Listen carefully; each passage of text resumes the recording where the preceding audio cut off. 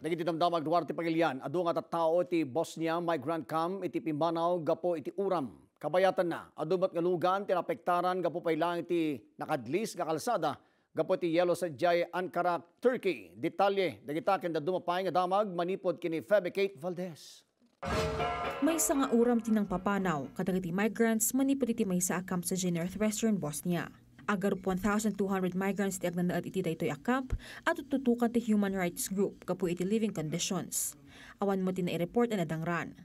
Kinunati may sa UN official ang mamati da ati uram kat pinartuwat dagiti sana naragsak ang migrants kapo iti temporary closure ti nasa Owa camp. Kabayatan na uray no idi pa ila ang 2004 nga addan ti bakuna para iti yellow fever saan latta mapabakunaan dagiti naganak dagiti anak da.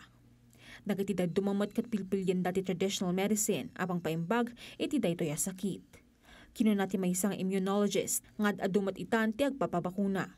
Mangmukbukal maten ti Nigerian federal government iti massive yellow fever immunization campaign amang rugi inton mid-January ti sumarano atawan iti sabali a bannag na addaan iti havoc iti capital ti Turkey nga Ankara kapo iti icy road conditions no sa dino adu a drivers ti saan na makakontrol kadag iti luganda adu may dayustos kadag iti kalsada. Makita pa iti footage ti sa magmamano alugan nga agdidin nung par iti panagdayustos da iti icy downhill. Gapo iti daytoy, agrop pito alugan tinadadaal ngam awan tina i-report ang nadangran. Fevi Kate Valdez, para iti pagilyan.